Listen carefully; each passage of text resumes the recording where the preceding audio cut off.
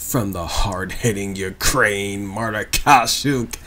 Welcome to Tennis in a Minute, guys. I'm your host, Good Energy. Look, taking on Liang, the hometown woman here. Listen, this match here, first set was amazing.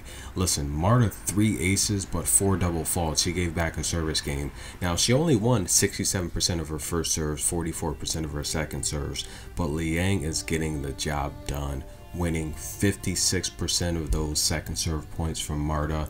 She had three breakpoint three breakpoint opportunities. She converted on two of them. Marta did have six. She converted on two.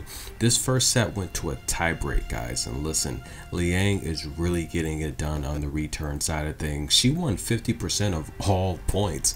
So really the tiebreak is inevitable, right? If you're winning half of all the points in the match so far.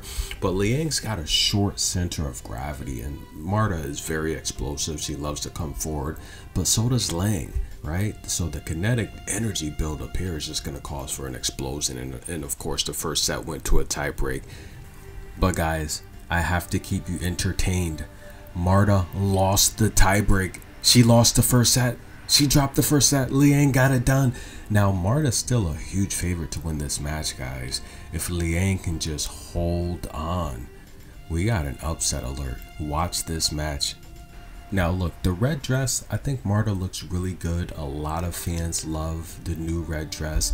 I feel her confidence up. And look, if your confidence there, you're going to play good. It doesn't matter what sport you know you play. If you have your confidence and your appearance is there, that can transpire into some good things on the court. Now, look, speaking of outfits, Victoria Azarenka, Big Foe, they're getting a lot of criticism for their new, you know, bright Nike outfits. But listen, guys, a lot of players were wearing those outfits. We saw Sabalenka wearing them, Linda Fruhvirtova wearing them.